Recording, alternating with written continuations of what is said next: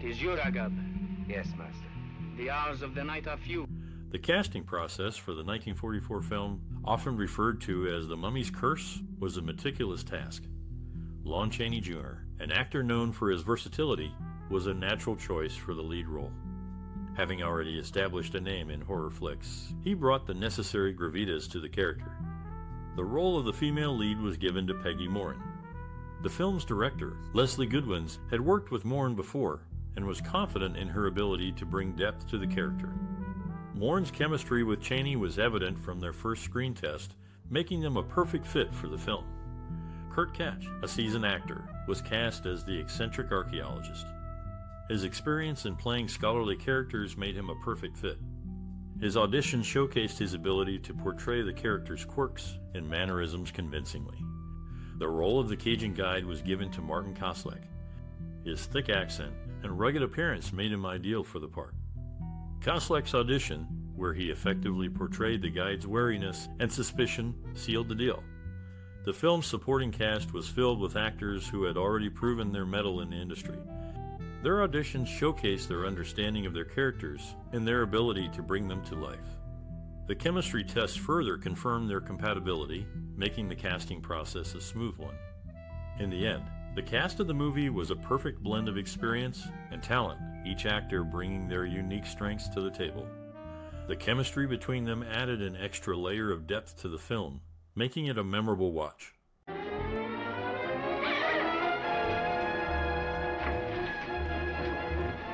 Delving into the making of the 1944 film, one discovers the director's unique approach to bringing the show to life. The director, known for his distinct style, drew creative inspiration from various sources. For this movie, he drew influence from early Egyptian mythology, weaving together a tale of mystery and horror. The director's vision was to create an atmosphere of suspense, using the shadowy sets and dim lighting to his advantage. Collaboration with the cast and crew was crucial. He worked closely with the cinematographer to achieve the desired visual effects, often using innovative camera angles and techniques.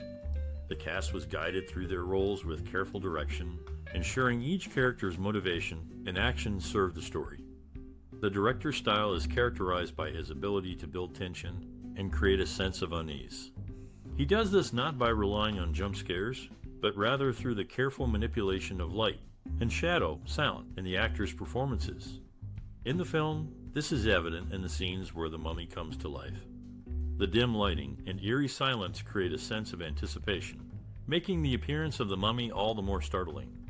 The director's approach to storytelling is methodical and well thought out. He believes in creating a rich and immersive world for the audience to step into, one that is both visually stunning and emotionally engaging. In the show, this is achieved through the meticulous attention to detail in the set design, costumes, and makeup. Every aspect of the production is carefully crafted to serve the story and enhance the overall viewing experience. The director's collaborative spirit also extends to working with the cast and crew. He believes in fostering a creative environment where ideas can be freely exchanged and explored. This approach not only leads to a more cohesive production, but also allows for the discovery of unique and innovative solutions to creative challenges. In the movie, this collaborative spirit is evident in the seamless integration of the various elements of production. The result is a captivating and chilling tale that has stood the test of time.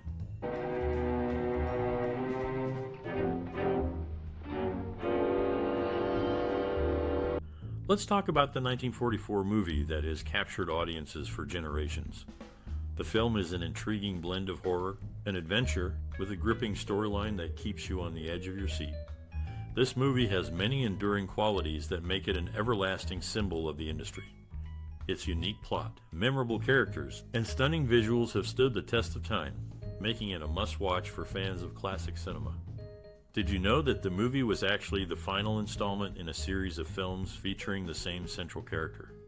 Or that the film's production was plagued by a series of bizarre accidents and mishaps, leading some to believe that the set was truly cursed? As we delve deeper into the fascinating history of this movie, you'll discover many funny, shocking, and even sad facts that will leave you wanting to know more. Do you have a most cherished memory or personal experience related to this movie? We would love to hear your stories and memories in the comments below. So sit back, relax, and let's explore the captivating world of this classic film.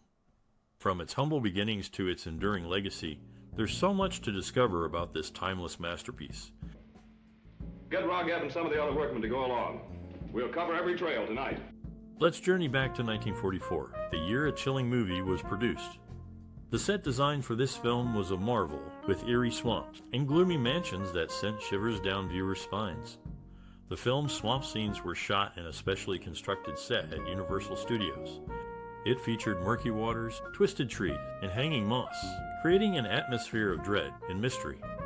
The mansion, on the other hand, was a Gothic masterpiece filled with shadowy corners and spiral staircases. The movie was primarily filmed on sound stages, allowing the creators to control every aspect of the environment. However, this came with its own set of challenges. Creating consistent weather conditions, managing lighting to mimic natural daylight, and ensuring continuity across scenes were all complex tasks. One innovative technique employed during production was the use of optical printers to create complex visual effects. These machines allowed filmmakers to combine multiple layers of film to produce supernatural phenomena, such as the mummy's ethereal appearances and disappearances. The logistical challenges were not limited to set design and filming techniques.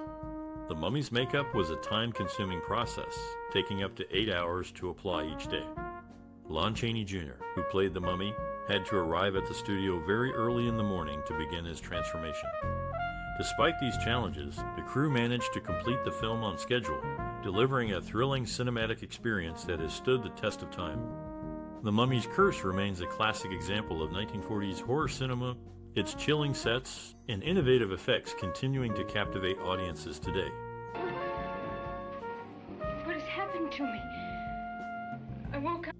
Movie, often referred to as The Mummy's Curse, takes us back to 1944, when it was first released. This film is a part of a series of movies featuring the character of the mummy. The mummy, brought to life by a curse, is on a quest to find his lost love. The film's lead, Kharis, is portrayed by Lon Chaney Jr. Chaney, born on February 10, 1906, was no stranger to horror movies, having played the role of the Wolf Man in several films. His portrayal of the mummy is equally compelling, showcasing his versatility as an actor. The female lead, Ananka, is played by Virginia Christine. Christine, who was born on March 5, 1920, had a long and successful career in film and television spanning over four decades. Her portrayal of Ananka adds a layer of depth to the character, making her more than just a damsel in distress. The movie was directed by Leslie Goodwins, who was born in London in Wedi 99. Goodwins had a prolific career in the film industry, directing over 50 films between 1921 and 1951. His direction in The Mummy's Curse adds a sense of suspense and intrigue, keeping the audience engaged throughout the film. The film's special effects, while not as advanced as those we see today, were quite impressive for the time. The scene where the mummy rises from his tomb is particularly well done, creating a sense of awe and fear. In conclusion, The Mummy's Curse is a classic horror film that has stood the test of time. Its compelling characters, suspenseful direction, and impressive special effects make it a must watch for any classic movie fan. Self-ordained caretaker of this monastery. Thought this place was abandoned. This house of worship. The Mummy's Curse, released in 1944, is a classic horror film that has captivated audiences for generations. A significant aspect of the movie's appeal lies in its haunting musical score and soundtrack, which complement the narrative and emotional tone of the show. The film's score was composed by Hans J. Salter, a prolific composer known for his work in the horror and thriller genres. Salter's music for The Mummy's Curse is characterized by its eerie, atmospheric quality, which perfectly captures the mood of the movie. Salter drew inspiration from a variety of sources when composing the score for The Mummy's Curse. In an interview, he once stated, I like to use unconventional instruments and sounds to create a sense of unease and mystery. This approach is evident in the film score, which features unusual instrumentation and dissonant harmonies that add to the overall sense of dread. The soundtrack also features several memorable musical cues, including the film's iconic main theme. This theme, which is heard during the opening credits, sets the tone for the entire movie and establishes the eerie, supernatural atmosphere that pervades the show. In addition to the score, The Mummy's Curse also features several source music cues, including traditional Egyptian music and spooky organ music that adds to the film's haunted house vibe. The musicians involved in the creation of the score and soundtrack for The Mummy's Curse also played a crucial role in bringing the music to life. The film's orchestra, led by conductor Frank Bastone, consisted of some of the top studio musicians of the time, and their skill and artistry are evident in every note of the score. In conclusion, the musical score and soundtrack for The Mummy's Curse are an essential part of the film's enduring appeal.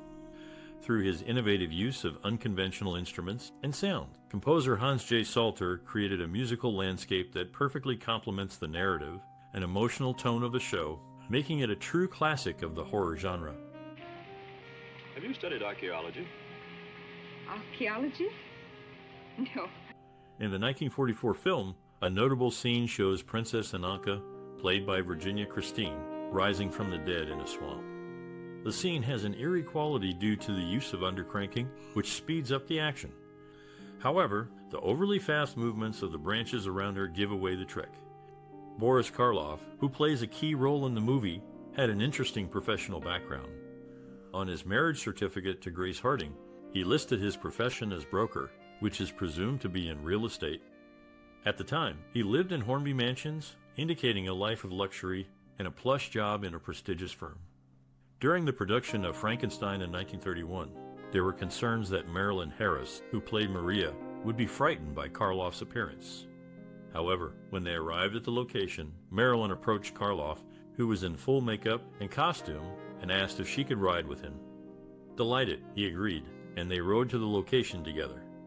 It's fascinating to learn about the personal and professional lives of the actors behind the scenes, adding depth to the movie experience. The use of undercranking in the film creates an otherworldly atmosphere, while Karloff's kindness towards Marilyn Harris shows his warm and approachable personality off screen.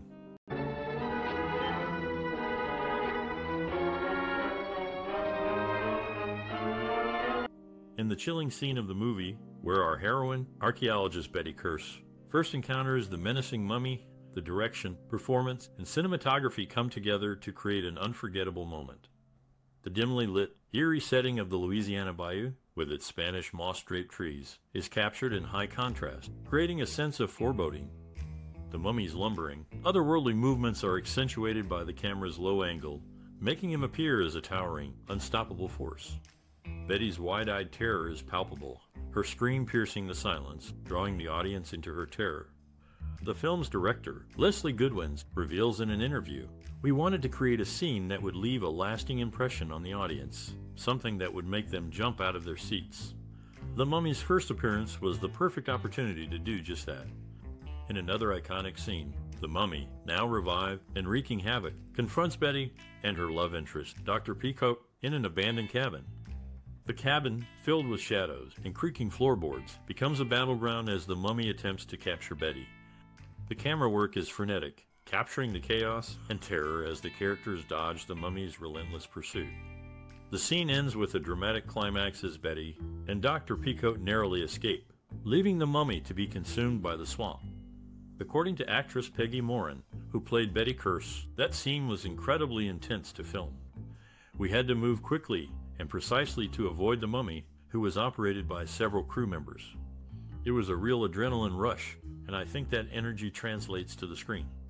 These iconic scenes have had a lasting impact on audiences, creating a sense of suspense and terror that has endured for decades. The movie's ability to tap into primal fears, combined with its atmospheric setting and strong performances, has made it a classic in the world of horror.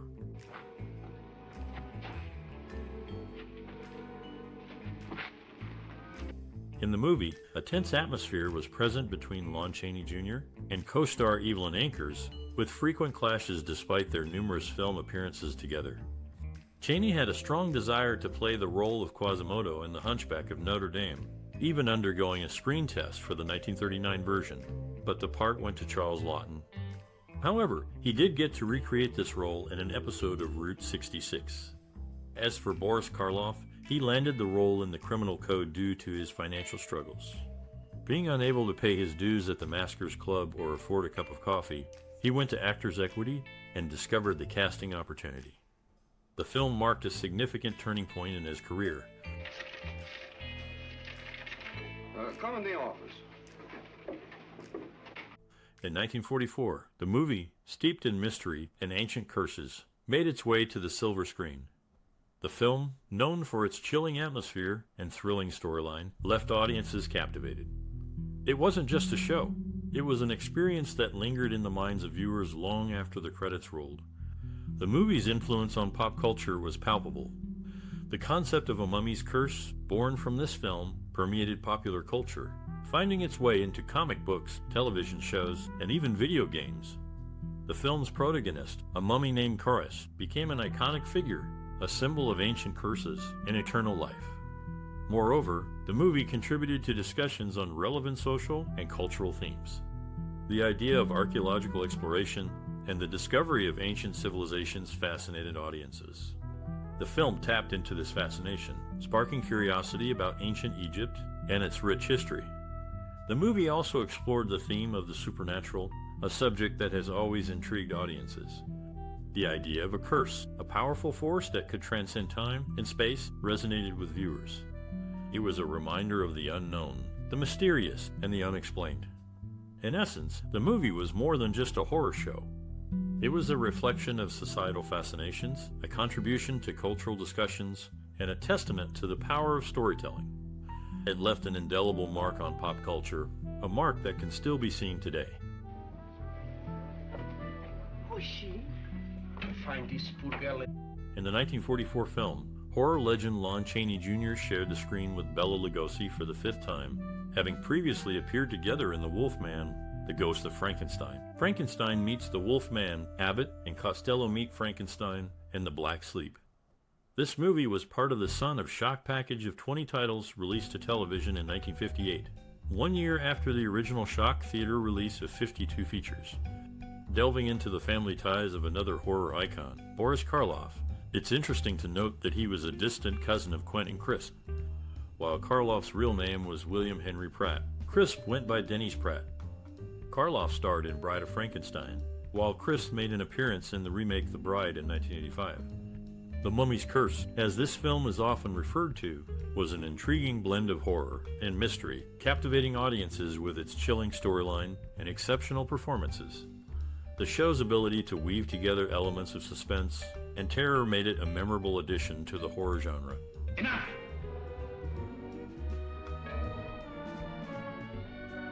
The Mummy's Curse, released in 1944, received mixed reviews from critics and audiences.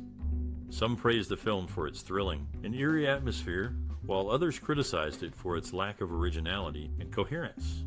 Notably, the New York Times review by Bosley Crowther panned the movie, stating that it was a confused and confusing jumble of cliches.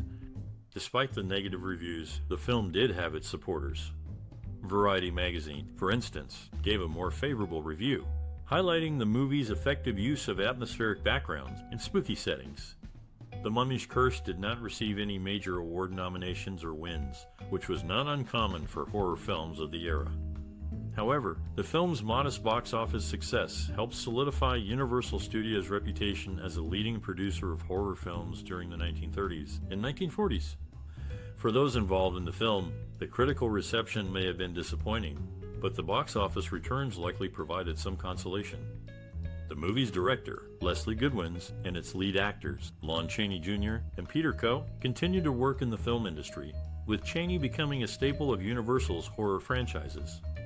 In hindsight, The Mummy's Curse may not be remembered as one of the greatest horror films of all time, but it remains a notable entry in the genre's history. Its mixed reception serves as a reminder of the challenges that filmmakers face in creating a truly memorable and impactful horror movie. Kill. Kill. In the 1944 film, a character named William Henry Pratt, played by Boris Karloff, plays a significant role. Interestingly, in Jeffrey Sackett's book Mark of the Werewolf, there is a character with the same name, and his description matches Karloff's persona perfectly. The movie's protagonist, Dr. James Halsey, portrayed by Dennis Moore, is seen driving a 1941 Buick convertible, adding a touch of vintage elegance to the show. Tom Tyler, another cast member, has an impressive background. He was the first actor to play both Captain Marvel in the serial The Adventures of Captain Marvel and the Phantom in the serial The Phantom, showcasing his versatile talent in the industry. Kharis and his bride, Princess Ananka, cannot be preserved. Unless. In the sweltering heat of 1944, the cast and crew of a horror movie found themselves battling more than just their roles. The film, known for its chilling supernatural tale, was plagued by a real life mystery that left everyone spooked. During the shooting of a pivotal scene near a swamp, the lead actress, who played an archaeologist, reported an eerie encounter. She claimed to have felt a strange presence while filming, as if someone or something was watching her. Her co star, playing the role of the cursed mummy, laughed it off, attributing it to the spooky atmosphere of the set. But things took a turn when props started disappearing. Costumes would be found in disarray, and scripts would go missing, only to reappear in the most unexpected places. The director initially brushed it off as practical jokes, but even the most skeptical crew members began to feel uneasy. One night, after a long day of shooting, the sound engineer heard strange noises coming from the prop room. Upon investigation, he found the door wide open, despite having locked it himself earlier. Inside, he discovered the mummy prop standing in the middle of the room, its eyes glowing ominously in the dim light. Needless to say, he left the room in a hurry, refusing to step foot inside again. Despite these spooky occurrences, the show must go on. The cast and crew persevered, turning in their performances despite the chilling atmosphere. And so, the movie was completed, leaving behind a legacy of not just a thrilling horror story, but also of the unexplained events that added an extra layer of mystery to the film. You will look back with me across the years. Lon Chaney Jr., known for his role in The Wolfman, was honored on a 1997 commemorative postage stamp. He's one of four famous movie monsters featured, alongside Bela Lugosi as Dracula, Boris Karloff as the monster in Frankenstein, and the mummy, who was portrayed by none other than Karloff in the original film. In The Mummy's Curse, a flashback sequence includes footage of Karloff and Tom Tyler from earlier films, making it seem as if three different actors have played the role of Kharis, the mummy. In reality, stunt doubles may have also been involved. Boris Karloff's contributions to the genre were significant, earning him a plaque inside St. Paul's Church in London, also known as the Actors' Church, Covent Garden. His legacy continues to resonate in the world of cinema, leaving an indelible mark that is still celebrated today. Where are they? Safely hidden in the monastery. You couldn't have carried them up alone. No, I've had. The movie, released in 1944, may not be as celebrated as some of its contemporaries. However, it certainly left an imprint on the film industry. The film's innovative use of special effects and makeup laid the groundwork for future horror films. The eerie visuals and suspenseful storytelling set a precedent for the genre, influencing filmmakers for years to come.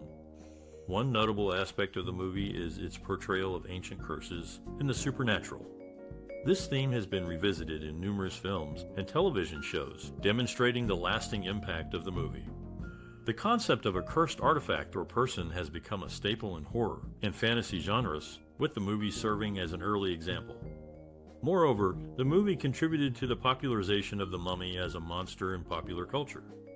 Prior to its release, mummies were not commonly featured in horror films. The success of the movie led to a surge in mummy themed films and television shows, solidifying the mummy's place in the pantheon of classic movie monsters. The movie also provided a platform for its talented cast and crew. The film's lead actor, Lon Chaney Jr., was already an established star, but the movie gave him the opportunity to further hone his craft. The film's director, Leslie Goodwins, also used the movie as a chance to showcase his directorial skills. In addition, the movie's production design and cinematography were noteworthy for their time. The film's atmospheric sets and moody lighting created a sense of dread and unease, enhancing the overall viewing experience. These techniques have since been adopted by many filmmakers, demonstrating the movie's enduring influence. In conclusion, while the movie may not be the most critically acclaimed or commercially successful, its legacy and influence are undeniable. From its pioneering use of special effects to its contribution to the horror genre, the movie left an indelible mark on film history. Its impact can still be felt today, with numerous films and television shows continuing to draw inspiration from its themes and techniques.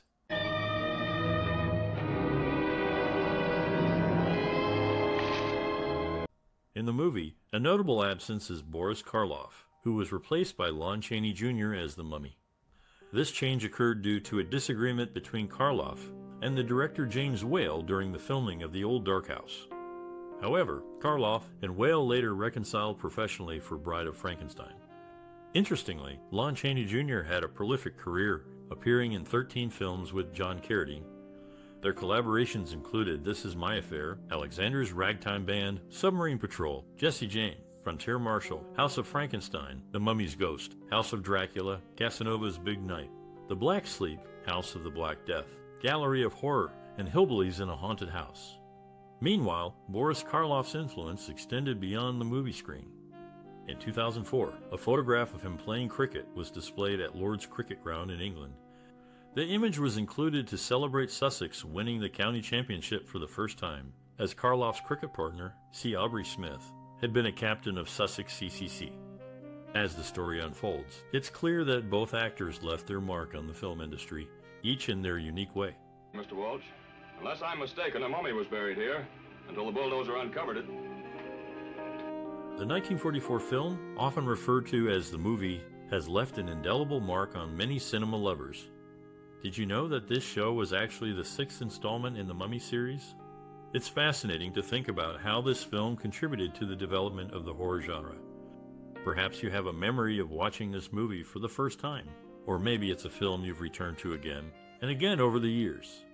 No matter your experience, we'd love to hear from you. What was it about this film that resonated with you? How did it influence your perspective on cinema? Maybe you were captivated by the eerie atmosphere, or perhaps the performances of the actors left a lasting impression. Whatever your thoughts, we encourage you to share them with us and with other cinema lovers. By engaging with each other, we can all deepen our appreciation for the world of film. If you're new to our channel, we invite you to like, share, and subscribe to stay up to date on all of our cinematic explorations. Together, we can continue to celebrate the power and magic of movies. So, don't be shy, tell us your story. There you will find leaves of the ancient Tana tree.